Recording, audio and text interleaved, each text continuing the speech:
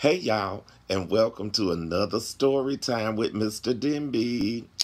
Have you ever heard of a place called France? What about Paris, France? That's the most popular place. Anyway, today's story is about a place in France called Chateau de la Lalande. And we're going to talk about Aloysius the ram who lives in Chateau de Lalande. Get ready.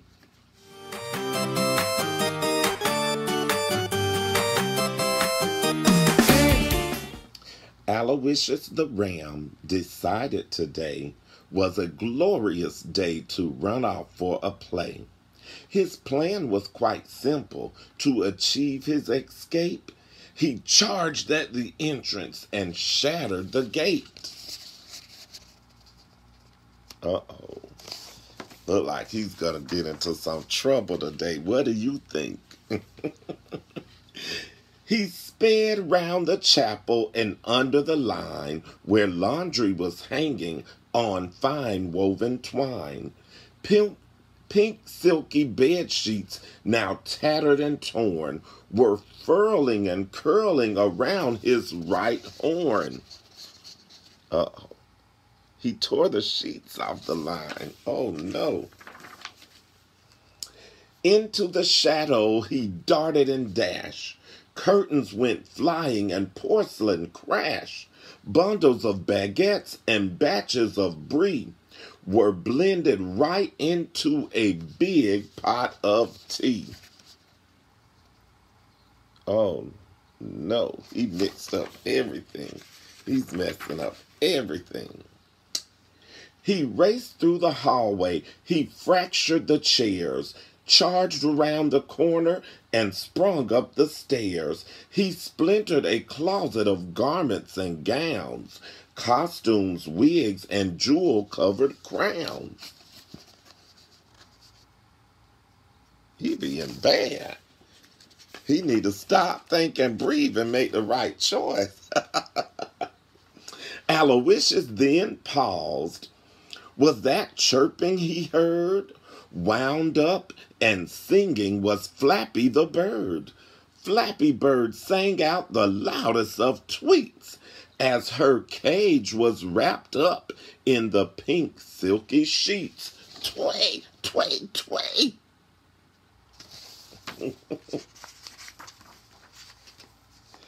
Out to the fountain and under the spout, he scuffled with swans who were swanning about. The flurry and fluster created a flood and soon all the courtyard was covered in mud. Oh no. Into the garden he recklessly rushed. Carrots were trodden and roses were crushed.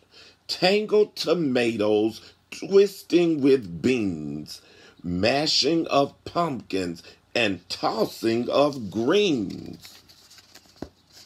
He is making a mess, y'all. Mm, mm, mm. Aloysius the Ram's bellowing bleat trumpeted mayhem in the artist's retreat. Doodles were rammed into pallets of blue. Easels were skittled and paintbrushes flew. Oh no. Y'all, he probably finna make a bigger mess. but then a peacock named Thor, strutting nearby, observed this destruction and sighed, My, oh my! This rampaging ram lacked grace and lacked charm. I will screech, I will squawk, and I will raise the alarm. Look at that peacock. Squeak, screech, squawk. She's going to tell somebody. She's going to let people know. Quick as a flash, From the chateau's right wing, a hero appeared with a bright tartan grin. Aloysius, he hollered, you are making me cross. I'm Scotman the Brave, and I'll show you who's boss. Uh oh. That means he's getting angry. Because when, when somebody says you're making me cross, that means I'm getting angry. So you better, let's see what happens. Uh-oh. Aloysius declared, You are no match for me, as he polished his horns, took aim at his knee. But Scottman just whirled and twirled in a spin as those horns thundered past and head butted the bin. Ouch!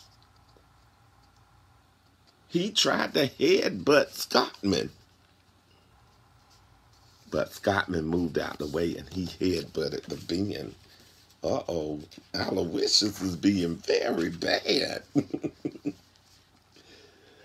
Alo- Aloysius looked a sight. His big woolly tongue was tangled with vines and the pink silky sheets that he tore from the line. The teapot, the feather, and the wig were askew, and his vision was blurry from splatters of blue. The mud on his hooves was slowing him down, and he skidded on jewels that he dropped from the crown. And as for Flappy Bird, her loud chirping tweets were muffled and din of the banging of the baying and bleats.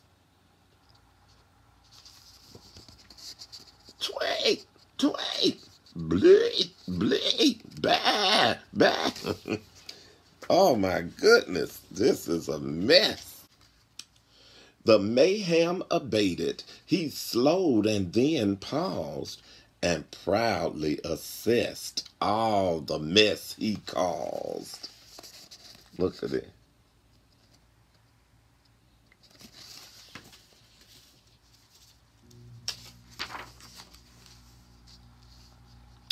The turmoil is over.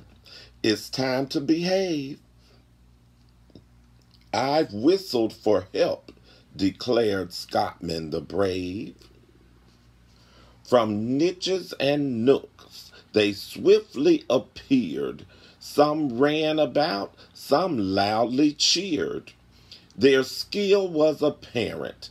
They were quick and were shrewd, and were trained to restrain any sheep in a mood. I'm feeling quite weary, Aloysius revealed, then bleated and bad and returned to his field. Now he called, look at all of those people from the chateau to come help.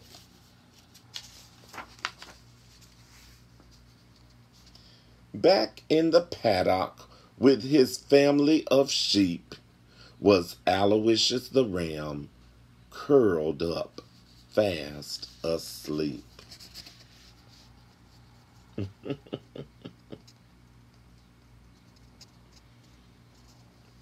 oh, the end.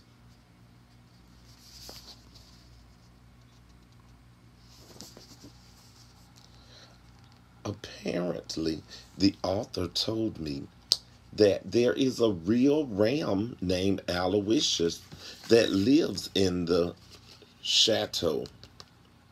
So this is kind of a true story. You know, it's a story about a real person, but it might not be a true story.